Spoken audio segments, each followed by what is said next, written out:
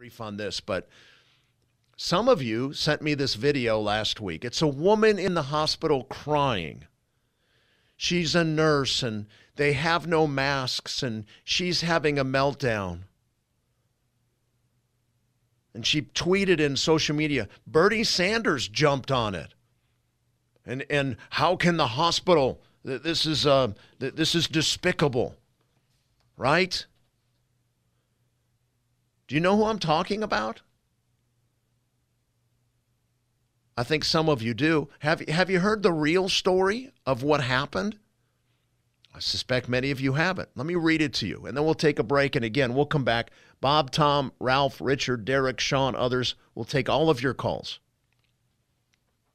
But this is important, again, because CBS News reported this as it was true, broadcasted it everywhere given the perception that this particular hospital wasn't even giving masks to its medical staff.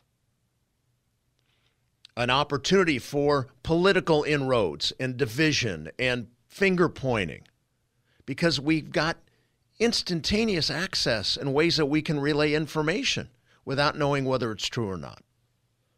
Here's the story a travel nurse whose tearful Instagram video decrying a lack of gear, masks, etc., at the hospital in which she worked went viral. As it turns out, was not completely truthful in her video. Amaris Vera, who is based in Chicago, said she quit because nurses in the designated COVID unit to which she was assigned were not wearing masks and she was not allowed to wear her personal N95 mask. CBS reported the story, quote, in tears, a nurse says she quit her job after she was asked to work in a coronavirus ICU without a face mask. America is not prepared and nurses are not being protected. That's the direct quote from CBS News. She said, I quit my job today. I went into work. I was assigned to a COVID patient on an ICU unit that has been converted to a designated COVID unit. None of the nurses are wearing masks, not even surgical masks in the hallways when they're giving reports to each other.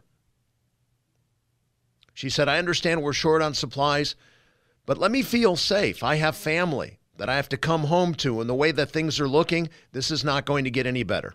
That's the direct quote. Bernie Sanders, of course, retweeted that video, and the next thing you know, it kind of blew up. She even responded to Sanders. She said this, which is not the truth.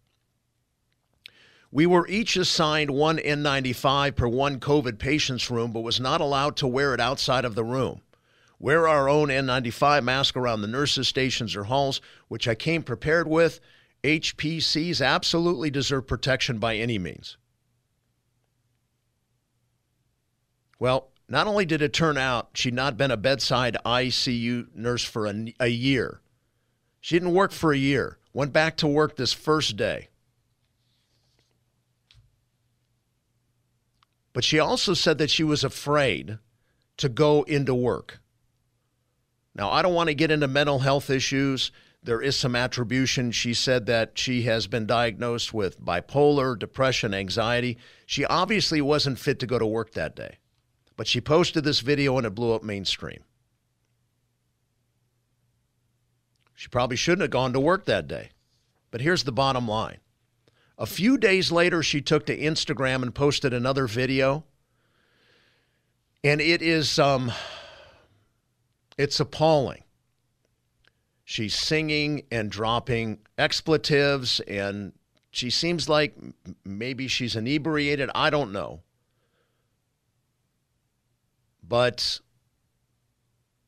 the medical establishment has responded with the truth. Again, she quit on the very first day back on the job, hadn't been at work for a year, has some self described problems.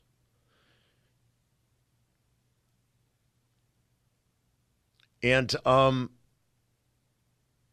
here's an important post that someone else in the medical establishment shared. Our nurses nurse practitioners, physician's assistants, doctors, everyone on the front lines in our hospitals and clinics deserve to have adequate personal protection equipment. What we do not need are unserious drama queens making the crisis worse by using social media as a way to work through their emotional issues. Whether they're nurses in suburban Chicago, pundits, or keyboard warriors. So, why do I present that story? Am I here to demonize this woman? No. I hope and pray she gets help. But again, if anything, it's a disclaimer. Be careful about what you open yourself up to. CBS News reported this and made their own editorial on it, presenting that somehow this is really bad. We're not even protecting those on the front line. Not true. And again, for those of you that are all into conspiracies and this is the beginning of the cashless society and on and on and on, look to some of our great preachers for their perspective. When we continue, we'll take calls, and also David Jeremiah was asked to weigh in on this. He's like, no, this is, this is not what a lot of people fear. In fact, he says, don't let fear become a greater problem than the coronavirus. Please keep your wits. Stay close to the Lord. Spend quiet time with Him. Read God's Word. Repent. Because probably safe to say my inbox will have 30 by the time I get off the air, and 29 aren't worth two seconds. So be careful what you pass along. One line open, 888 528 2557. I don't think I was too mean. Do you? I'll probably get emails. You're so mean. Oh, my goodness. Let's just re share the truth with a capital T. More of the Frank Sontag show as we continue next.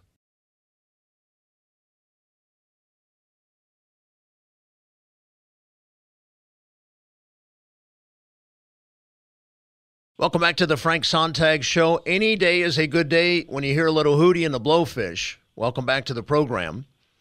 We are taking your calls among